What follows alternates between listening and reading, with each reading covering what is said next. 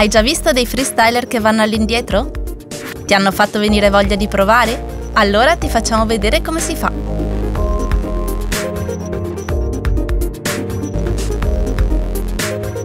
Scegli una pista larga, non troppo pendente e con poca gente. La prima prova all'indietro la devi eseguire come quando hai provato per la prima volta a sciare in avanti, vale a dire a spazzaneve. Questo ti permette di avere più stabilità e sicurezza. Non dimenticare di guardare dove vai.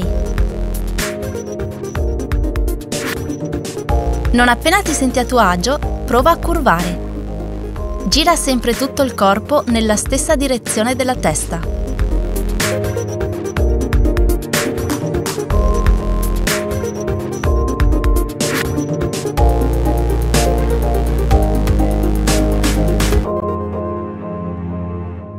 Con l'acquisizione di ulteriore sicurezza puoi cercare di tenere gli sci sempre più paralleli.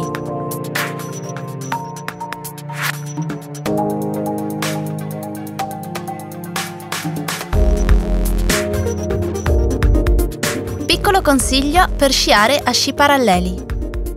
Con la rotazione del bacino nella stessa direzione della testa, vale a dire nella stessa direzione del tuo sguardo, si spostano gli sci e la curva si compie automaticamente.